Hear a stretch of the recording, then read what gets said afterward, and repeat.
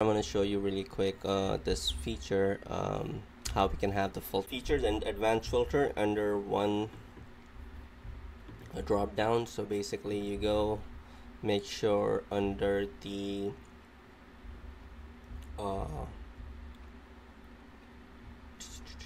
archive view you have sorry this view selected we probably have this one or this one right now so switch to this guy.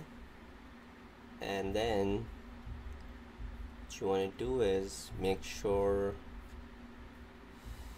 um, filter pricing plan. Yeah of course you want to have the advanced filter option also available. Uh, enabled sorry.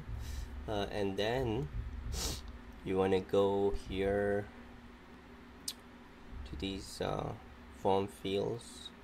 Why can't I see them? Okay yeah here. Form fields.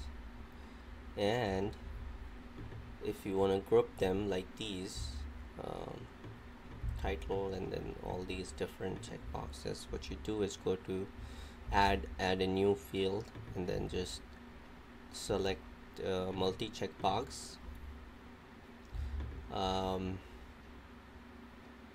yeah, I believe you can only do this with multi checkbox so because the other ones will so show differently. So you type in different um, filter options right here and then assign it to individual category or all the categories that you want.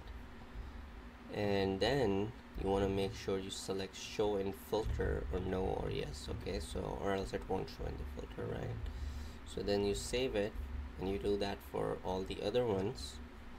Parking smoke music meat uh, whatnot. And I would just add all that filters and features. Of course just adding the additional features should just show up here instead of showing up uh, like you have it under the classic. It won't it won't show you here. So that would resolve your problem. Hope this clarifies have a good take care